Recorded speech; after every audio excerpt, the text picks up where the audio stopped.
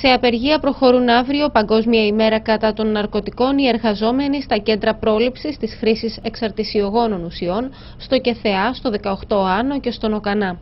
Ωστόσο, οι εργαζόμενοι στους φορείς πρόληψης και απεξάρτησης χαρακτηρίζουν την αυριανή ημέρα Παγκόσμια Μέρα Υποκρισίας και επισημαίνουν σε ανακοίνωσή τους ότι η απουσία τους από τα πανηγύρια της 26ης Ιουνίου είναι ελάχιστο καθήκον μπρος στην ακραία υποβάθμιση των υπηρεσιών μας. Οι έξι εργαζόμενοι του Κέντρου Πρόληψης της Λάρισας αγωνιούν για το εργασιακό τους μέλλον, καθώς η πενταετής προγραμματική σύμβαση για τη λειτουργία των κέντρων πρόληψης λύγει τον Δεκέμβριο. Δεν είναι θέμα πια ότι δουλεύουμε μόνο με ε, τέσσερα άτομα επιστημονικό προσωπικό ή με το 35% των χρημάτων του Υπουργείου Εσωτερικών και του Υπουργείου Υγείας που θα έπρεπε να έχουμε κανονικά.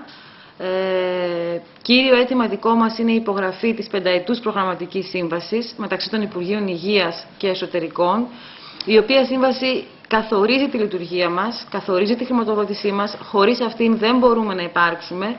Η συγκεκριμένη λύγει το Δεκέμβριο του 2013 και δεν έχει γίνει καμία κίνηση ακόμα για να υπογραφεί η νέα πενταετής. Έντονο προβληματισμό δημιουργούν τα δημοσιεύματα των τελευταίων ημερών που μιλούν για σενάρια συγχώνευσης του ΚΕΘΕΑ με τον ΟΚΑΝΑ. Σε δελτίο τύπου του ΚΕΘΕΑ σχολιάζεται ότι η συγχώνευση των δύο οργανισμών, οι οποίοι σηκώνουν το κύριο βάρος αντιμετώπισης της εξάρτησης στη χώρα, που στόχο έχει να συρρυκνώσει το δυναμικό τους και τη δυνατότητά τους να ανταποκρίνονται στις αυξανόμενες ανάγκες, θα αφήσει χωρίς υποστήριξη χιλιάδες ανθρώπους που τη χρειάζονται. Την αλληλεγγύη τους προς τους εργαζόμενους εξέφρασαν και τα μέλη του Διοικητικού Συμβουλίου του Κέντρου Πρόληψης. Δεν γίνεται όμως να συνεχίσουν τα κέντρα πρόληψης να λειτουργούν κάτω από το καθεστώς της απόλυτης εργασιακής ανασφάλειας. Δεν είναι δυνατόν τα κέντρα πρόληψης να συνεχίσουν να λειτουργούν ως επέτες στο Υπουργείο Υγείας και στο ε, συναρμόδιο Υπουργείο Οικονομικών.